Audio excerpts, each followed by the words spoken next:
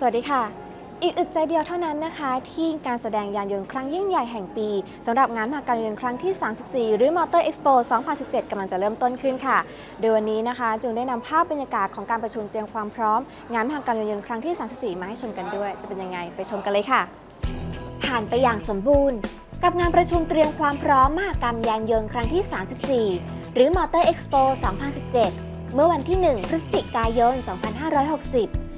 บรรยากาศแน่นขนาดไปด้วยตัวแทนจากบริษัทรถยนต์ รถจักรยานยนต์ อุปกรณ์เกี่ยวเนื่องต่างๆ ที่จะเข้าร่วมงาน รวมถึงผู้ออกแบบเครื่องแต่งกายบรรดาพริตตี้ ที่เดินทางมาร่วมรับฟังการประชุม เพื่อเตรียมพร้อมในการจัดแสดงสินค้าและองค์ประกอบต่างๆ ของการจัดแสดงบูธ โดยในปีนี้การแต่งกายของพริตตี้ยังคงเน้นความสุภาพเรียบร้อย เพื่อยกมาตรฐานพริตตี้ให้เป็นแบบอย่างที่ดีต่อไป ด้านขวัญชัยประพัฒพงศ์ ประธานจัดงานมหกรรมยานยนต์ครั้งที่ 34 รวมไปถึงผู้ดูแลในส่วนต่างๆ ของงาน เน้นย้ำในเรื่องของการขอความร่วมมือต่อผู้ร่วมจัดแสดงบูธ โดยให้นำประสบการณ์ของการจัดงานปีที่ผ่านมา เป็นแนวทางในการพัฒนา เพื่อให้ผู้เข้าชมงาน ได้รับอัธรสในการชมงานแสดงยานยนต์ที่ดีที่สุด และคำนึงถึงความปลอดภัย และความสะดวกสบายของผู้เข้าชมงานเป็นสำคัญ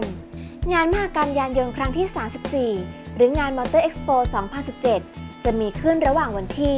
30 พฤศจิกายน ถึง 11 ธันวาคม 2560 ณ Impact Challenger เมืองทองธานีฮ1-3 และคุณผู้ชมสามารถรับชมการถ่ายทอดสด ผ่านทางช่องททบ 5 ในวันที่ 3 ธันวาคมนี้ เวลา 14 นาฬิกาเป็นต้นไป ติดตามรายละเอียดการเข้าชมงาน และร่วมลุ้นบัตรเข้าชมงาน Motor Expo ฟรีได้ที่ www.motorexpo.co.th และ facebook.com/motorexpo